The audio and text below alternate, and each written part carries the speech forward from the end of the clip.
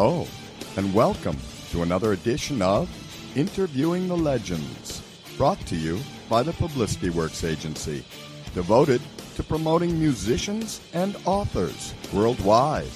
Call us today at 941 877 1552 to start your free publicity evaluation. Remember, we shine only when we make you shine. Please welcome the host of Interviewing the Legends, music journalist, author, and entrepreneur, Ray Shasho.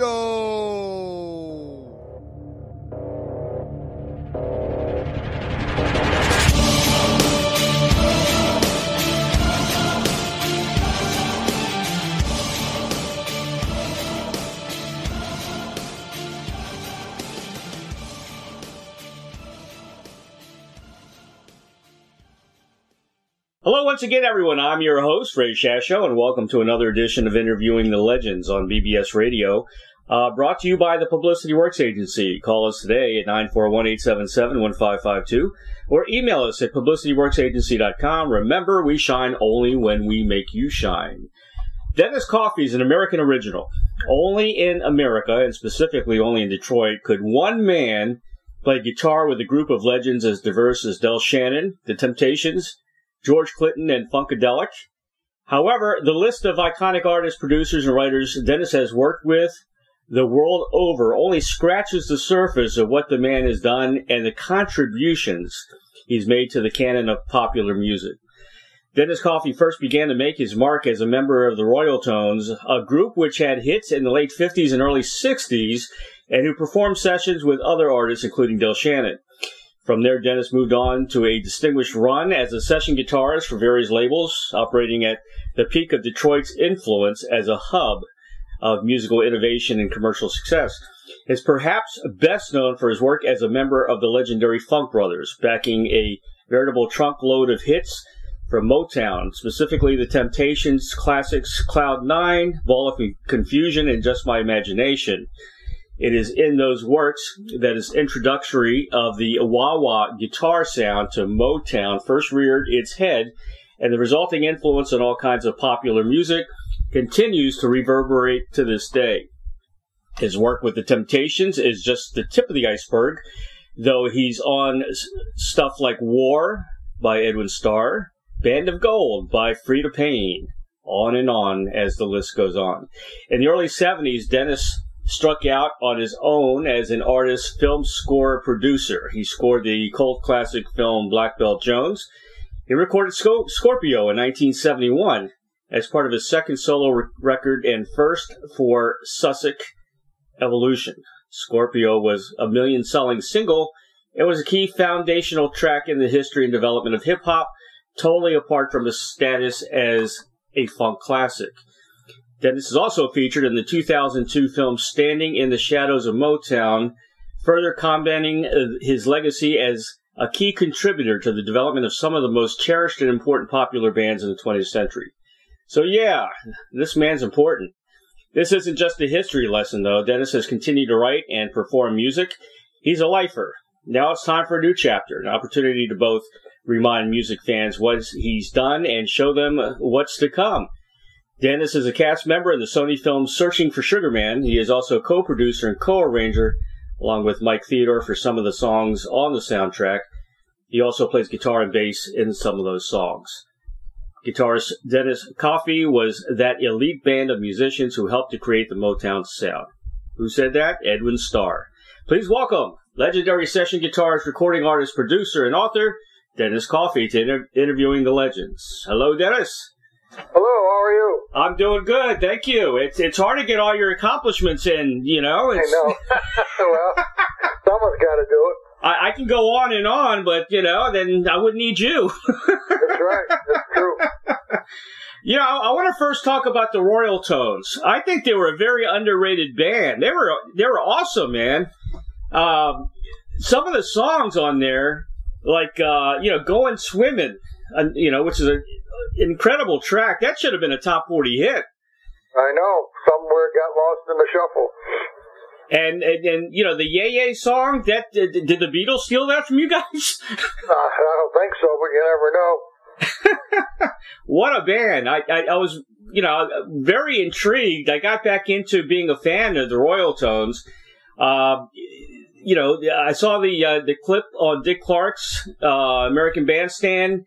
Uh, I mean, so many great songs. You, you a lot of um, um, you, you know uh, instrumental tunes, but there were you know some vocal songs as well.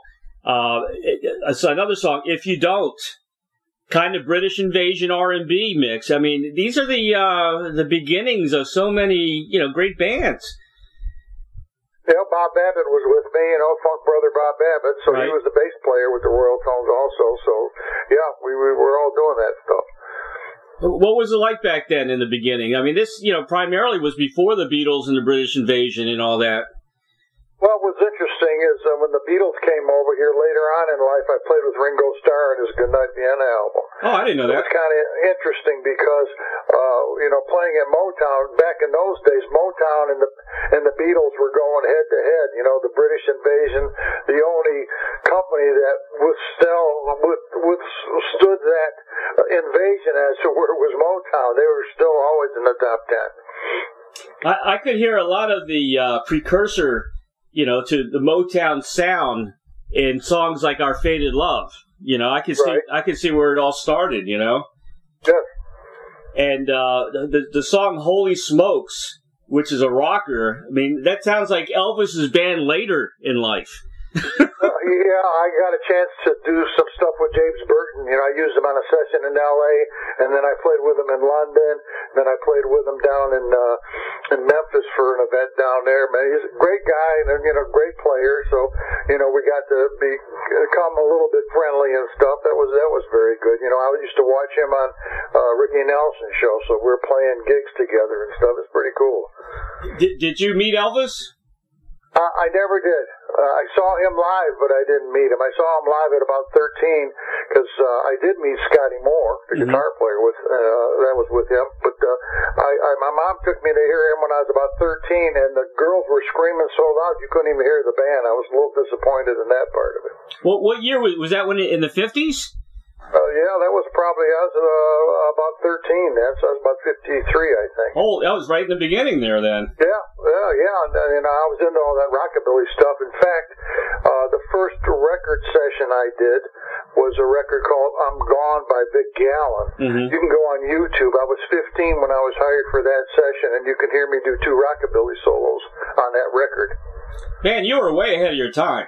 Well, uh, that's the whole idea of it, you know. This is try.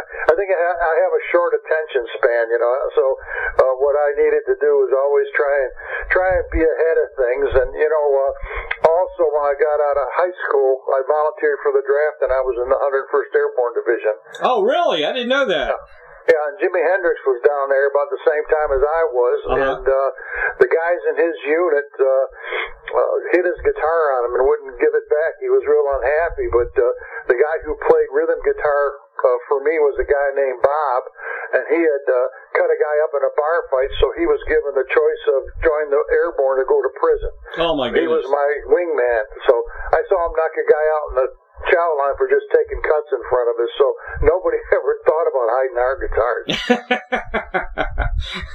so, so you actually jumped jumped out of airplanes. I sure did. Yeah. h- how many jumps did you have? You remember? Oh, probably only about seven. Because what happened is in jump school for the first two weeks, you know, you jump about five times. Right. And later on, due to cost, you only can jump once every three months. So I stayed in that outfit for about a year, and basically we were just waiting around for a war to happen. I got bored, so I transferred out of that and went down to Fort Jackson uh, for the last year. And uh, I was recording with Maurice Williams down there and a lot of different artists in Columbia, South Carolina. So uh, I was that way. I was working the clubs and doing all that stuff, and still, you know, being uh, be in the army. Now, now this was was this before Vietnam? Yeah. And what was interesting is because I volunteered for the draft right out of high school because I had two years, you know, and I figured that was my obligation, and I had two years without work because I was too young to work in the bars.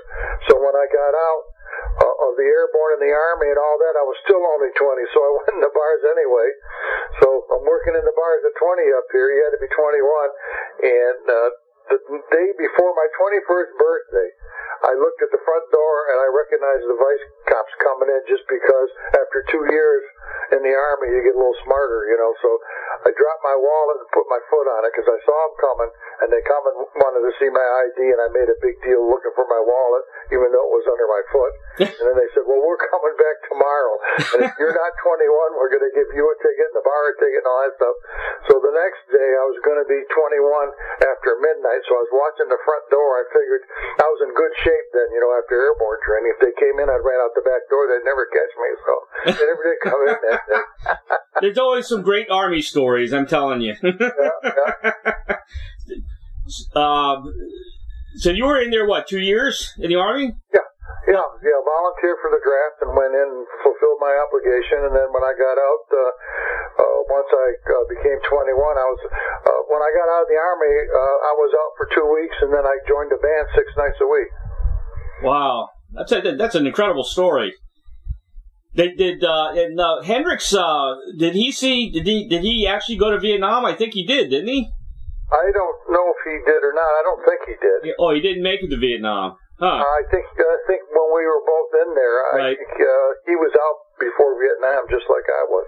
You know, I respected Hendrix because when they asked him about Vietnam, he says, "I'm not going to say if I'm for it or against it, but I understand it."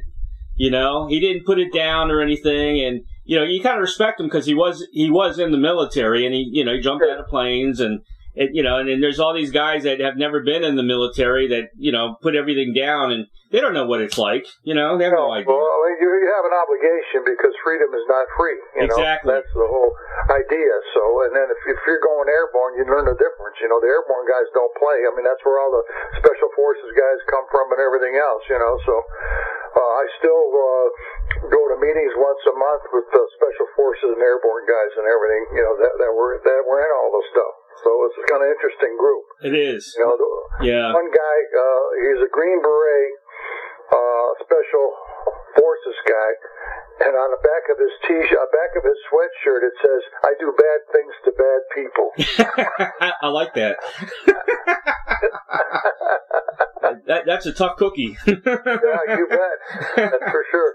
well, thank you for your service. I want to say that first. You're welcome. Yeah, my my, my I'm take care of my dad. He's 94 and he's an ex-marine from uh, uh, World War II, which is not not too many of those guys left. You know, Yeah, my dad was in the Navy in World War II. really, is he still around or did he pass away? No, no, he passed away, but uh, but he was in the Navy in World War II. He lost half a lung when uh, he got uh, the U-boat sunk his ship in Oh, English wow. Channel. So they shrunk one of his lungs when he finally, you know, recovered from that. But, uh, but Really? Navy. Yeah, my father-in-law was in Germany. He passed away, but he was a point man in Germany in World War II. Okay, okay. I wouldn't want to be a point man. Yeah, exactly. yep. So uh, all I can say about the Royaltones is they were way uh, underrated. Uh, they kind of started things off for a lot of great bands in the future. They're, you know, I, I love listening to those mu- that those songs. I really do. Well, you know, we were working in bars uh, six nights a week as the Royaltones, and finally, after three years, I think people were getting a little tired of it, so we worked the Jersey Shore all summer. So that was pretty cool. At uh, uh, Somers Point. So we worked that, and then after that, you know, we were kind of we came back here, and uh, the work wasn't here for us. That's when we kind of split up. Yeah, yeah. Well, and you worked with Del Shannon, right? Yes, yes. Uh, we uh, uh, first work with Del Shannon when we worked at Somers Point. We drove down to New York City at Bell Sound and recorded uh, uh, with Del. You know, we did uh, uh, Handyman, uh, we did uh, Little Town Flirt, and uh, uh, a couple. He had some uh, million sellers. The first Yep. million seller I played on was with Del Shannon. Well, one of my favorite bands, and I'm still friends. Uh, I keep in touch with Peter Rivera. Has always Okay. been has always been Rare Earth. Yes, yeah, that's true. Yeah. A- And you were Gil, uh, Gil Bridges lives here in Detroit. I see him once in a while. oh, does he? He, Huh. he bought the name from Pete. Yeah, I know. Yeah, Uh, I don't think. and it's I I think there's some bad blood there. Gil, Gil found a singer, uh, a drummer out of Lansing that sounds quite a bit like Pete was kind of surprising. You Uh-huh. the guy can do all that stuff, but they're still on the road, as far as I know. They- I, think Pete goes out with a different bunch of people. Yeah, Pete. I've seen Pete a lot of times uh, now, and he he sounds the same, man. He sounds great. Sure. Yeah, yeah, yeah. Yeah. I heard. Well, you were on you were on their first their debut album, Dreams and Answers, and you produced that album. Yeah, Mike Theodore and I did, and uh, the guitar player got lost the first day of recording, so I had to play guitar on it because he somehow got lost and didn't show up for the session. I th- that was what Rod Richards. Rod Richards, I think, right? It was. Yeah. What ki- what kind of dog? What kind of dog you got?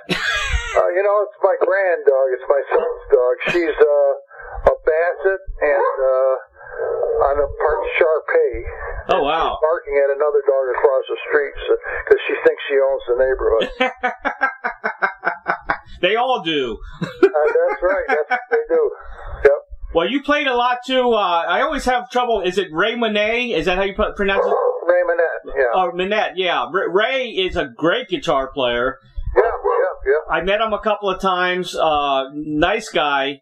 And, uh, you know, I, he, he was very important to that rare sound later, later, like after the 70s, you know? Yeah, well, you know, uh, Ray and I uh, played when when Holland Dozier and Holland uh, uh, started their own label, Hot Wax, and everything.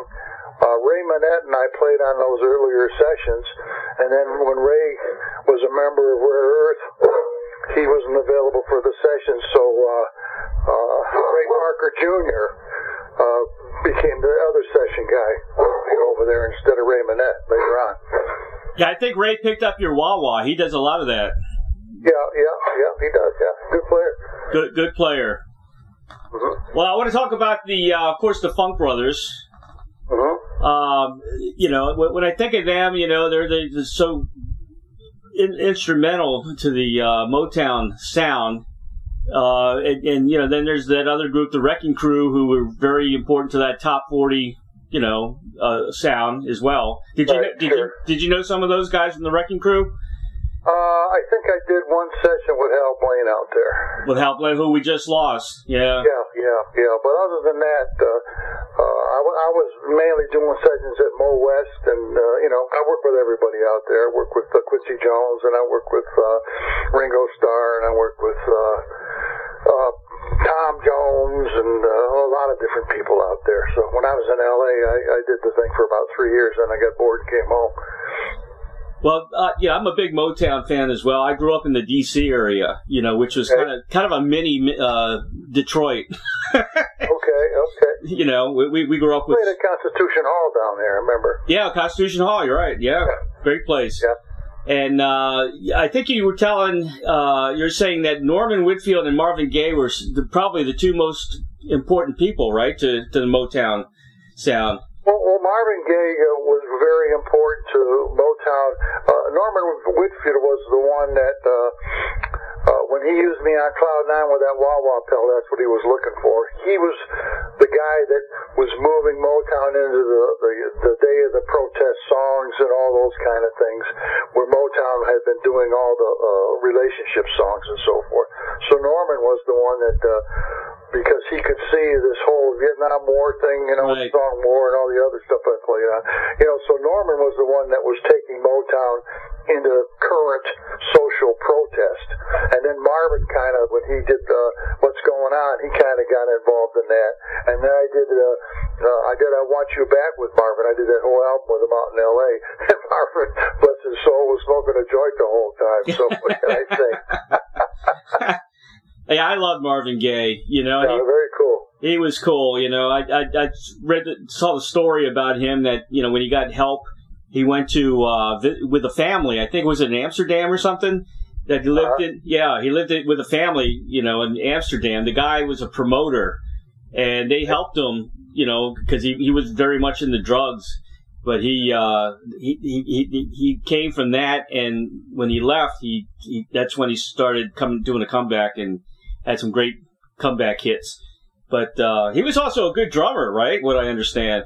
Uh, he was, but I, I never encountered him playing drums. You know, uh, he was just, uh, you know, when I did the album with Ringo, Jim Keltner and Ringo were both playing drums on that thing.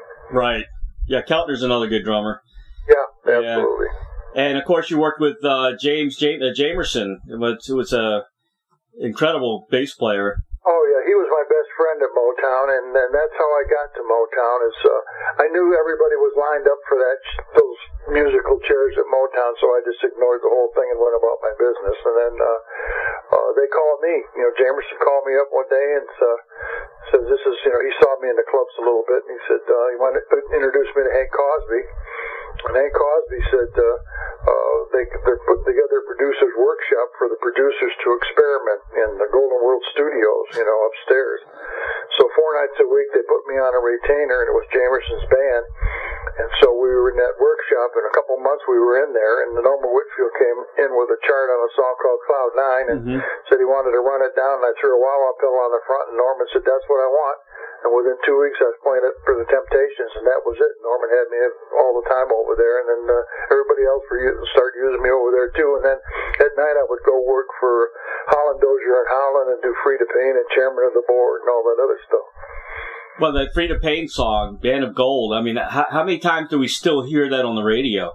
Oh, Yeah, and I, I had the Coral electric sitar, and that that was a written part. You know that that fixed that fit with everything. yeah. And uh, that, that's kind of how that happened. At the same time, I was doing uh, the dramatics, you know, in the rain, and what you see is what you get. And then I was going down to Muscle Shoals with Wilson Pickett doing "Don't Knock My Love" and all that other stuff. So it was fun. Times were busy.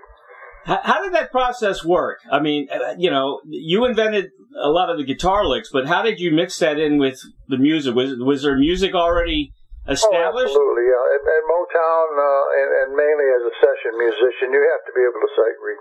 I mean, there was uh, uh, a lot of, uh, you know, I remember Jay Graydon as a guitar player, producer out in L.A. He and I were studying sight reading from this uh, conductor of the Palos Verdes Symphony just to get better at that.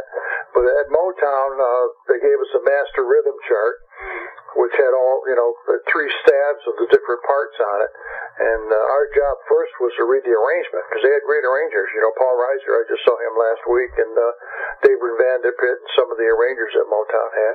So uh, that was the first job. I mean, you walked in uh, for a three-hour session. You walked in at 10 o'clock, and your job in that first uh, each hour was mainly to read a chart of a song you never saw before, read the chart correctly, come up with a feel, and record one song an hour with no mistakes and make them a hit. That's Wow. what we did.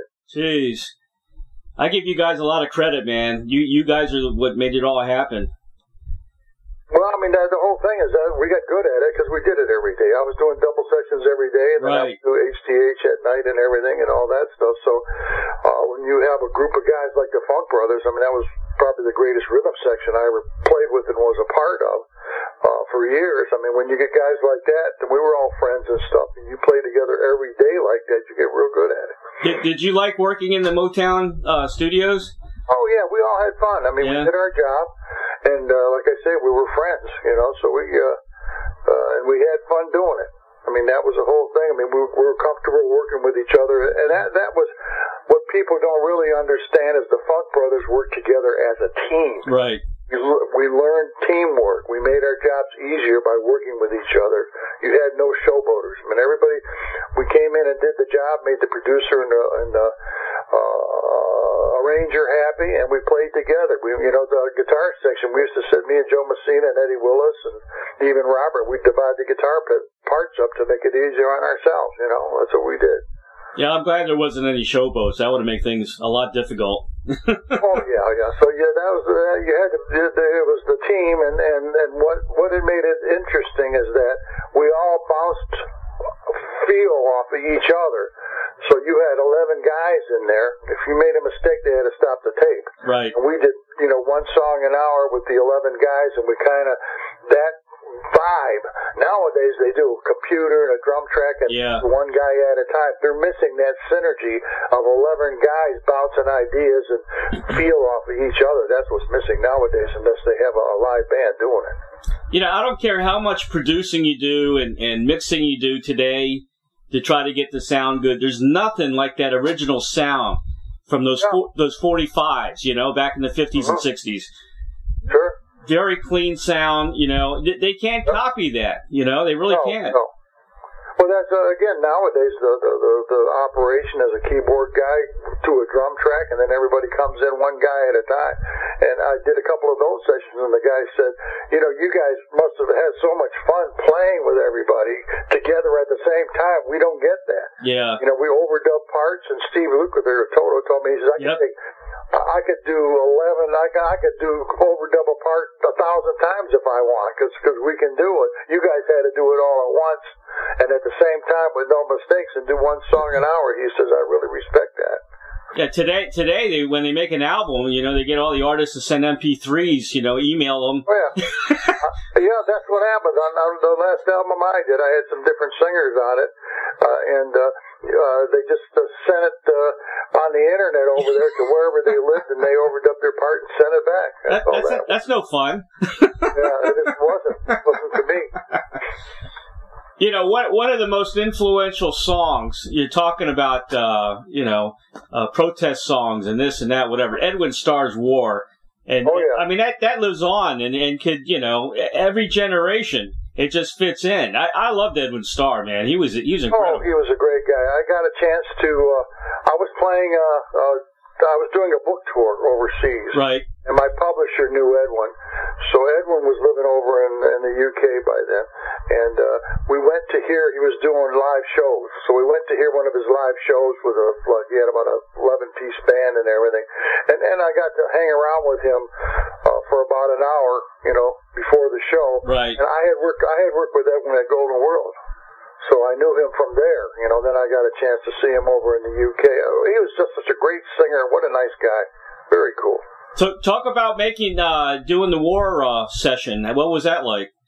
Well, you know, that was a, just a typical uh, the Funk Brothers, and Uh-huh. Norman was uh, was the guy. You know, Norman Whitfield was always a master of dynamics. You know, he'd always be breaking it down. Yeah. He'd, he'd be always standing in front of Uriel and Pistol, the drummers. That's where he stood. He was never in the control room. Huh. Norman, when we did the rhythm tracks, he's always in front of the drummers, and he'd be doing breakdowns. You know, well, everybody stop, and I just want to hear a hi hat over here, and I'll cue you in, and all that. That that's what his whole one of his uh, great skills was a master of dynamics. Norman Whitfield Right. was. Yeah, we need more guys like that today. I mean, that's, we're missing Oh, yeah. that. Well, we need more budgets. We need going to going to studio. And uh, the last album I did on myself, I did it with everybody. I I, I don't never do the, the way everybody else does. I don't do that. Yeah. I go in and do an album. I'll I bring the whole band in together, and we'll do the album. We'll do the solos and everything. We don't overdub and do that because at Motown I never overdubbed uh, uh, Ball of Confusion, Right. And just my. Ma- we didn't overdub anything. We just cut that stuff right with the tracks and go. Yeah. Yeah, I I talked to uh, Billy Cobham once in a while. We were talking about the Spectrum album. Okay. Uh, you know, that was loose. You know, they did that really quick, and you know, they had a few mistakes in there. They left them in, and uh, they had a good time, and it was a great album. Yeah, I mean, you have to look at the feel. You know, you. I mean, yeah, there, there might be a few blemishes, I call them, but not, if you have a real outright glaring clinker of the wrong chords that really doesn't fit in it, you know. But generally, if it's a little a minor issue, as long as you got the feel, it's better. I mean, the feel is what it's about, not about whether you have a minor mistake or not. yeah, today everything's overproduced, you know, and it's just Sure. it's it's it's it's a totally different scene today. I'm not happy with it. I I was a top 40 DJ also back in the late 70s, and you know, I've seen Okay. a, lot of, a lot of changes, and I, I Yeah, You yeah. know. I mean, nowadays the producer's the ruler, and he plays keyboards usually, and Yeah. he writes all the material and all this kind of crap. You know, instead of having a live band go in there and really, you know, really deliver on that level. But sometimes I think the keyboardist producers get carried away with what they want. Right. They want to do the click track and all the other stuff, which just kind of makes the stuff I think very stilted. You know, I, I uh, there's an interview with Frank Zappa on uh, YouTube, which I love. He Uh. he was talking about you know because his music was very innovative and you know a lot of a lot of stuff what didn't make it to the radio, and he was saying the guys that took a chance on music were those cigar chomping guys, old guys that didn't know anything about it, but they they let's take a chance, you know. And Yeah. the, the guys that were he was fearful of were the young guys that thought they knew everything because they they they thought they knew everything. They wouldn't play anything they didn't like, and that's he was right Yeah. about that. Well, that, that was the whole thing. You know, I I, uh, I had one time uh, uh, somebody on us doing a session in LA wrote on the chart, play this like David T. Walker. I said, why the hell did you call David? Was he busy? I don't play like David T. You want David T. sound like David T. Don't tell me like play like him. Exactly right. You also did. Uh, you worked with a, another group, which was not Motown, uh, the band Gallery, which I remember. They Yes. did, "Nice to Be with You" was a big hit, and you worked with them as well. Yeah, Yeah. in my theater, we uh, we kind of uh, applied that. We were going to put that group up with Clarence, and uh, and uh, they wouldn't let him put out any pop music, and we kind of stuck it in anyway. and Buddah got mad at us and him too because we had a big pop hit, and Buddah told Clarence, "We didn't hire you to do pop music. That's what we do." but before they knew it, we had a smash hit with the gallery. That's amazing. You know, that's totally different. You're doing a, a 180 there, huh? And uh, of course, you did Black Belt Jones. You did that. Yep. The score for that. Uh, I don't know why. Why didn't Curtis Mayfield or Isaac Hayes call you? You know, for uh, Shaft and uh, uh, what's the Curtis Mayfield? He did. Uh, it's got Freddie's Dead on it, and um, Yeah, yeah. I, I saw Curtis. I opened up for him in uh, Philharmonic in New York. You know, so he was he's really a great guy. Like, Yeah. uh, like what he was doing. But then you know, Theodore and I discovered Rodriguez and got that whole thing going. So you had a whole nother deal happening with him. I mean, we we knew it would be a hit, but it took the the public in a movie 30 years later, 40 years later to catch up with Rodriguez. yeah, that's true. That's an interesting story. I saw the movie. Yeah. I saw the movie. Yeah, yeah, yeah. So, uh, and I opened up for Rodriguez in London and uh, Manchester about four years ago. You know, I uh, opened up and uh, played with the band there. So what's he doing now? Uh, you know what? I don't really. Uh, I'm not sure what he's doing. Uh, you know, Rodriguez is kind of. He's always been. Uh, you know, every time Theodore, Mike Theodore, and I would hook up with him, he'd say, "Well, I'll meet you on the street corner over here by the beer store." or something. He'd be wandering around the neighborhood at Wayne State with a Huh. wine flask on his back. That's how we held our meetings with Rodriguez. Very secretive guy, huh? Yeah, yeah, yeah. He was always that way. Uh, you, you were on his first album, right? Cold Fact in uh, we 19 discovered him. Me and Mike Yeah. Theodore got him a deal. And when we first uh, saw him at the sewer by the river there in Detroit, he was singing and facing the wall. we're, we're looking at the back of his head, saying, "Hmm, who is this guy?" You know. So That's weird. we listened, but that you know it kind of forced you to listen to the songs. But he was he, but he that's how he performed in those days. He faced the wall. Huh? That's a, that's that's crazy. Yeah, he's a different Yeah, guy. yeah, and, and we couldn't get him in the studio. He was so shy Right. that we uh, we we brought him in the studio by himself and recorded four songs, the first four, and we built the band around him after he left. Huh? And then then we got him used to coming in the studio with the musicians. But that first four songs, uh, he wouldn't do it. So we brought him in by himself and recorded him and his guitar, and then we brought the musicians in later and kind of built them around the track. That's interesting. Very interesting Yeah. guy. Yeah. I, you, you wrote a book, which I wish I had. I'm gonna I'm gonna go out and buy it. Guitars, bars, and Motown superstars. Correct. Uh, do you have some great stories in there? Oh yeah, you know, and, I, I I tried to not overanalyze it, and I tried as a writer Right. make it entertaining, not you know, and and I got so tired of people writing books about music that weren't there. Right. And so, because they weren't there, they're relying on the biases and opinions of others who were. So I always felt that uh, I'm going to tell my story because I was there, hmm and I'm going to write a book to do it, and I could, and I did. I didn't have a ghostwriter. I mean, I can write, you know. So uh, I wrote many training manuals and everything, so I know how to write. Yeah, I'm I, I'm an author too, and I respect that. You know, because there's so Yeah. many so many bestsellers that oh yeah, I, I like to write. You know, and they they haven't done anything. It's all No, ghostwriter. no, and, and I uh, and I uh, made it a positive book, and somebody from LA says, "Where's all the dirt?" Uh, yeah, I'm not about writing about dirt. I know. I know a lot about that, that stuff. Well, sure, there's you can find that in anything, but that that's not what it's about. Music is a positive, and I'm a positive guy. I don't believe writing about crap just to sell books. That'd be absurd. Amen, brother. I, Yeah. I I do thousands of interviews, and I don't do any dirt at all. It's all about the music. yeah, you can always find dirt on anybody. We're Right. all human, but but but uh, you know, if you're looking at a positive accomplishment of being successful in the in the music business, why would you want to show the dark side right. of everybody? Everybody's got one. Why don't you just show the positive things that tie into their accomplishments and let's celebrate, you know, what they've done. You know, music music gets people through life. You know, music Yes. people timeline their their their life with music. I do all the time. You Yeah. know. Yeah, and what, I do is, uh, I, I know I used to, uh, uh, for one year straight, I was in uh, uh, three songs in Billboard in the top 10 and 10, 10 songs in the top 100 for a year straight.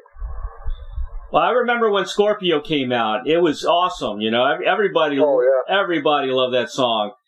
I remember I was playing in Brooklyn and uh, a hotel it was a twenty thousand. They had a, a, a two thousand crowd in a a big hall upstairs of the hotel, and we started. Uh, we you know played some of our songs, you know, and then I started going into Scorpio, and I looked up and there was a conga line of two thousand people boogieing towards the bandstand. I said, "Oh no, what's this?" Th- things uh, get big very fast when you have a hit Yeah. record. yeah, sure can. Yep. Did you have was Bob Babbitt on bass on that track on that song? Yeah, yeah, he was, you know, and uh, I let him take that bass solo. That bass solo helped Yeah. that record. It was such a tremendous bass solo, which you never heard bass solos, you know. So he just took off and did his thing. How, how'd you come up with that song? What, what was Uh, you know what? I uh, uh, I had a bunch of songs. When I did it, I was sitting in the basement with my sound on sound tape recorder, and I was doing a guitar band thing.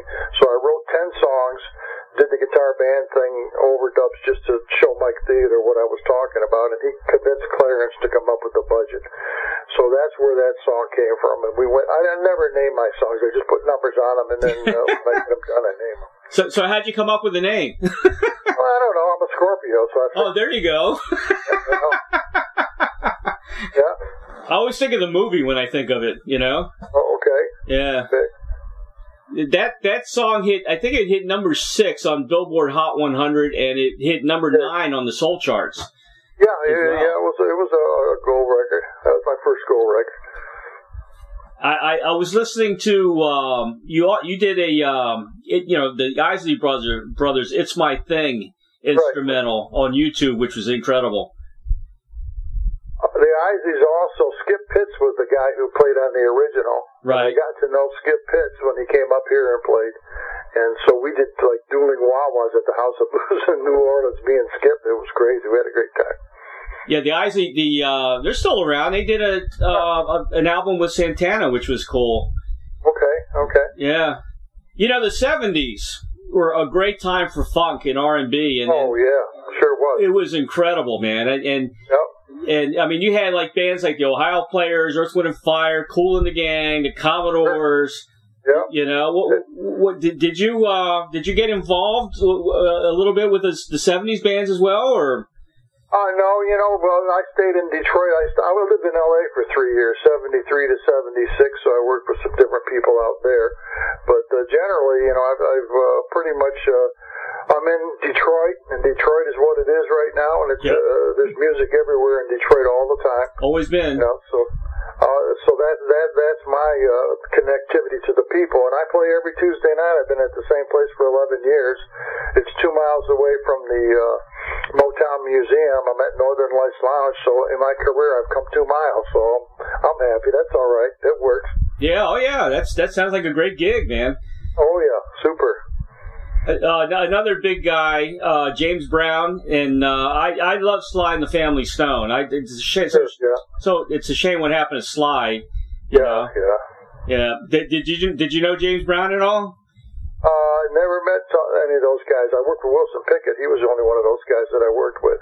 What, there, nobody, there is nobody like Wilson Pickett, man. He he oh had, yeah, he, he was Oh. the guy. he had that scream. Nobody could do. He did. He was the real deal. Wilson was. he was the real deal. I love Yep. Wilson Pickett. Well, you you got a uh, a new album out, right? Live at Baker's. Uh, live at Baker's, and I got one following it. Uh, Already? Next week. You're kidding me. Uh, uh, yeah, it's called Down by the River. It's uh, on uh, Mack Avenue's Detroit Music Factory. That's coming out next week. oh, really? Wow, that was quick. Oh, hey, hey, You know, I'm happy. Two albums within one month. That works for me. Unbelievable. Well, I love at Baker's, man. I gave it five stars. Well, excellent. Appreciate that. It, it's got uh, it's got Scorpio on it. It's got covers Yep. of Miles Davis, The Temptations, Jimmy Smith.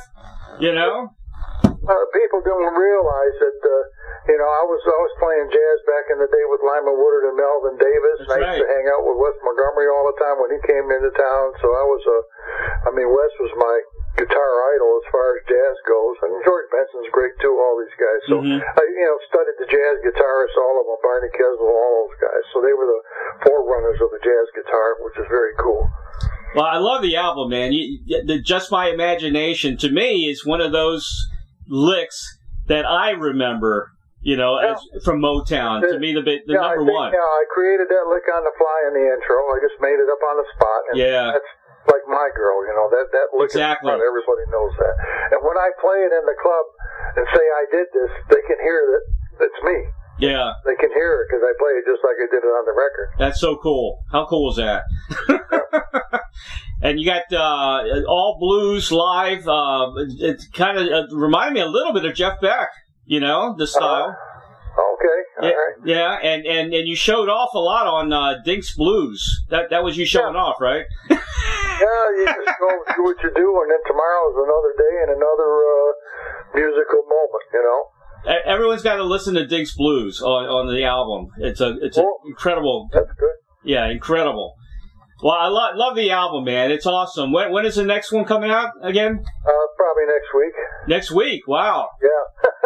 Jeez. Well, we'll we'll make sure we uh, promote that one too, and, and put it on all the Absolutely. websites. Down by the river, it's on uh, Detroit Music Factory, which is under Mack Avenue Records. And that is that a, is that a live album? No, uh, it's it's live in the studio, but not Okay. in the club. But uh, I'm an artist now signed to Mack Avenue Records, so Mac I'll Avenue. do one album a year from there for them. I'll be doing one album a year, so I got to get busy and record another one. Oh, great. Well, they're de- demanding, huh? Yeah, there Just- you go. Just like the old days. That's it, man. Gigs, gigs. I'm gonna you to do music. Wow, that's creative. you were inducted into the Michigan Rock uh, Rock and Roll Hall of Fame. Congratulations on that. Oh, thank you. Yeah, so many great artists from Michigan, man. I always say that the, the Rock and Roll Hall of Fame should have been in Michigan, not Ohio. I always thought that myself, but I'm surprised how they let it be in Cleveland. Yeah, I don't, I don't get that. You know, everything everything happened in Michigan. Yeah, but they got the Motown Museum here that's uh, expanding as we speak. That's oh, that's cool. Yeah, I want to come. Donated, I donated a 335 Gibson guitar to them. That I, Did you really? Oh man, yeah, so they uh, so they've got that. And I put it, set it up and everything right where I used to sit. Th- that that was your favorite guitar, wasn't it? No, no, my No? favorite guitar is the Firebird that I use Oh. all the sessions, and the 345 I use in the sessions. I still have those. Right. You you were on a show on PBS, uh, History Detectives. Yeah, yeah, me and uh, James Jamerson Jr. I think about an amplifier. It was uh, it was his dad's. wa- was it his dad's? I guess. Well, uh, uh, he claimed it was, and I thought it was, and later they claimed it wasn't. So I don't know. Oh, they, they never. thought it was at the time, and uh, you know, Junior should know if it's his dad's amp. Right, you would think so. Yeah. Well, well Dennis, here, here's a question I ask everybody, and I get some interesting answers. Uh, if you had a Field of Dreams wish like the movie, uh, to perform or collaborate with anyone from the past or present, who would that be? And you work with so many people. Uh, you know what? I uh, I pretty much there's nobody that that just oh I have to work with that person because I've worked with pretty much everybody. I mean, who haven't I worked with actually? I mean, there's a few people, you know, but I played in Europe and Paris and Barcelona, Spain, and I've been in Germany, and all you know stuff like that. So I, I really don't know. Hmm. You know, and and then because you don't, I don't know. The phone Yeah. rings and someone wants to work with me. You know, That's true. well, it's not it's not over yet. It's not over yet. Yeah, you're still a young guy. I am. Yeah, there's a lot of guys still touring in their 80s. You know. Well, uh, touring to me got to be a pain. You know, I, I toured uh, a lot in 2011 to support an album with Strut Records, which is based in London. Right. But after that, you know, uh, I don't need to tour anymore. Yeah. It takes a lot out of you. It really does. It, does. Yeah, it does. So, is there, is there anything in your life you would have uh, done differently? Uh, me mean, you learn from experience and from your mistakes. Uh, one thing I probably would have done if I had time was I would have got my college degree when I was at Wayne. Instead, I had to go back later and get my bachelor's and master's. But I think I would have tried to finish the degree when I was there. Mm-hmm. But uh, I just ran out of time because I was so busy with music. But I went up, went back later and got it. Oh, you did. Oh yeah, I got a master's and a bachelor's degree. Ah, congratulations. Yeah, I wish I had done that too as well. I, I didn't, but I had a broadcasting. Uh, I, I went to like a technical school that was owned actually by CBS, so I learned radio and television there.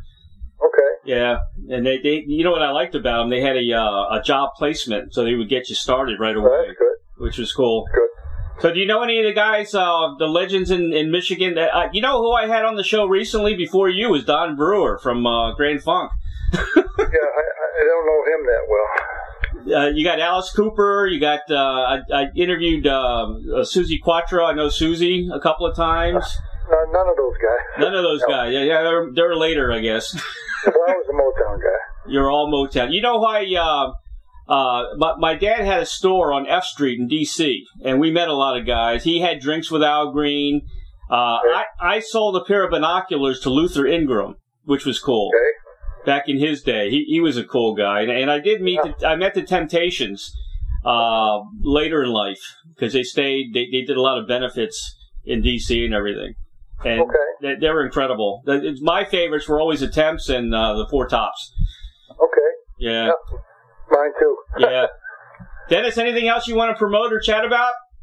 Uh, just that's it. I got to run out of here and go on an uh, appointment here, but uh, I think we've covered pretty much everything that I could think of. The new CDs coming out of my book.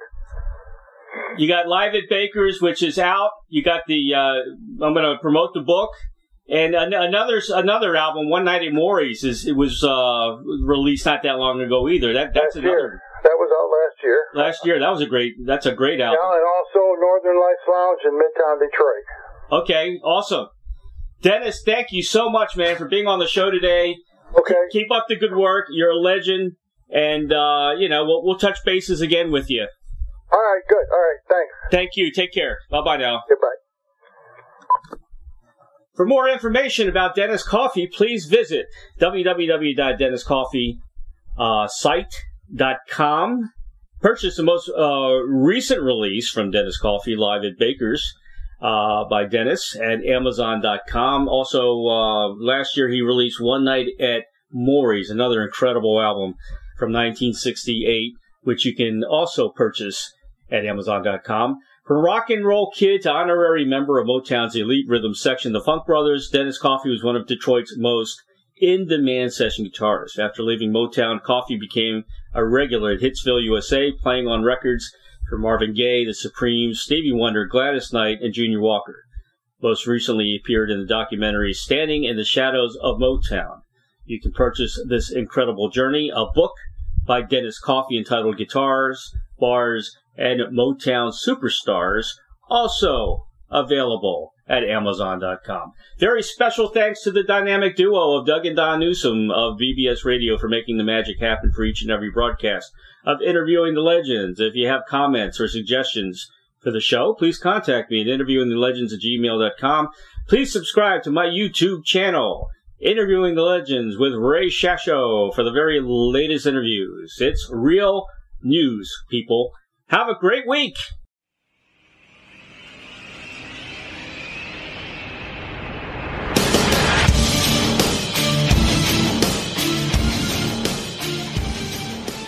Thank you, everybody, for listening to Interviewing the Legends.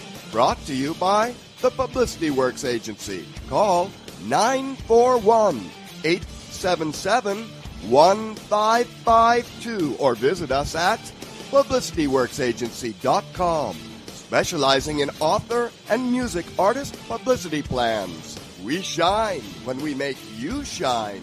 Tune in to Interviewing the Legends every Tuesday at 7 p.m. Pacific Time on BBS Radio, Station 1.